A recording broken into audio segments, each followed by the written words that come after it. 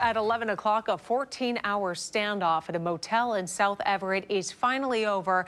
An armed man who barricaded himself inside the Motel 6 off of I 5 and 128th Street with a three year old child now behind bars. KOMO's Moa Hyder has reaction from stunned witnesses and new details from investigators.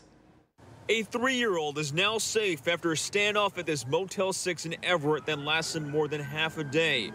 The child in a blanket can be seen here being rescued by a Snohomish County Sheriff's deputy after a 48 year old man armed with a firearm barricaded himself and the toddler inside. Several law enforcement agencies tried to get him to surrender. One person staying at the motel said she saw the chaos unfold right in front of her.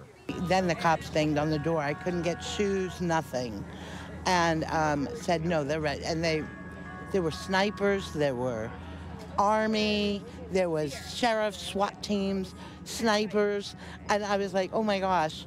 It all started when officers got a call about a woman being assaulted. One person who lives nearby tells us the motel has been a hotspot for crime.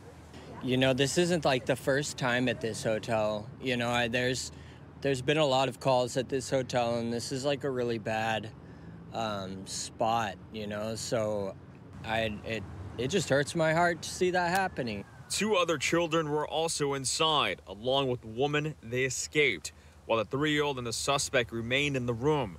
Around midnight, the 48 year old eventually surrendered and is now booked in Snohomish County Jail. In Everett, Mo Hyder, KOMO News.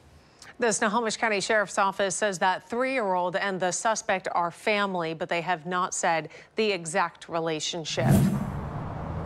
Kathy, do you see my shot? They just got the kid out. Yes. Oh, God.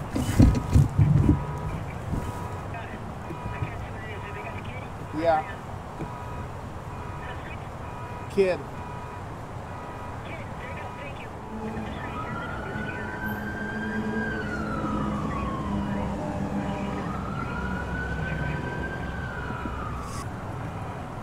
Yeah. I don't know.